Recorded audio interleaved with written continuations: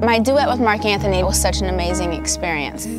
He walked in and basically sat me down on the couch and said, Jessica, I'm going to be in love with you for the next six hours.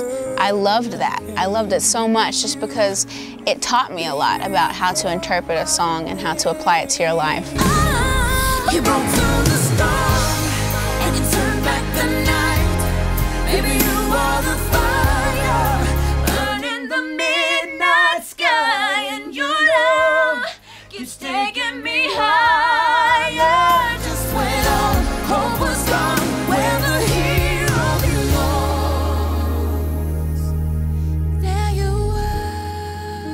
We basically did find the song together. We, we created it ourselves. Obviously, Marc and I aren't in love, but we were for the song, and that was really cool.